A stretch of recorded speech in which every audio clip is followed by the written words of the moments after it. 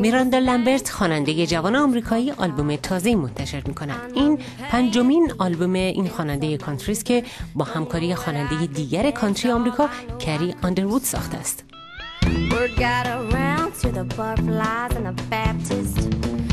او درباره دلیل درخواست همکاری با کری آندروود در این آلبوم می‌گوید خواندن همراه با کری آندروود کار ساده نیست. صادقانه می‌گویم صدای او فوق العاده است.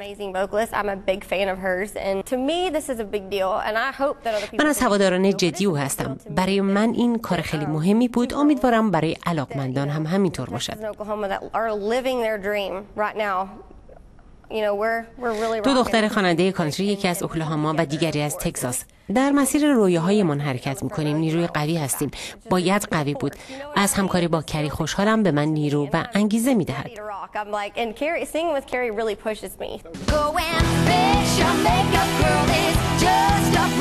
آلبوم تازه میراندا لمبرت به نام پلاتینیوم ماه ژوئن به بازار می آید. او همچنین برای دریافت جایزه آکادمی موسیقی کانتری نامزد شده و مراسم اهدای جایزه روز ششم آوریل برگزار می شود.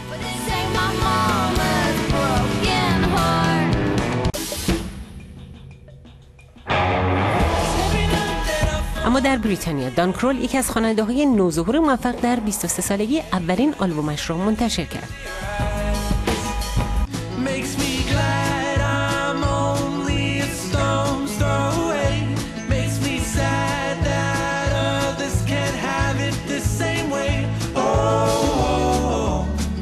که فارغ التحصیل مؤسسه هنرهای نمایش پل مکارتنی در لیورپول است درباره ترانه‌های آلبومش اینطور می‌گوید. From nowhere was very kind of indie, guitar led. یکی از ترانه‌ها indie ست ترانه دیگر فولک ترانه دیگر یک نوع تاثیر آفریقایی دارد. فکر می‌کنم کل آلبوم به همین ترتیب است. There's songs that are like quite R&B.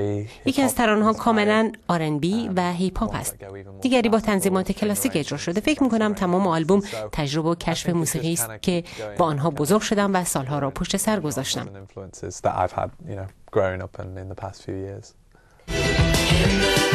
آلبوم تازه دانکرول به بازار آمده و این خواننده تازه وارد ایندی راک اولین صدرنشینی در فهرست موسیقی بریتانیا را تجربه کرد.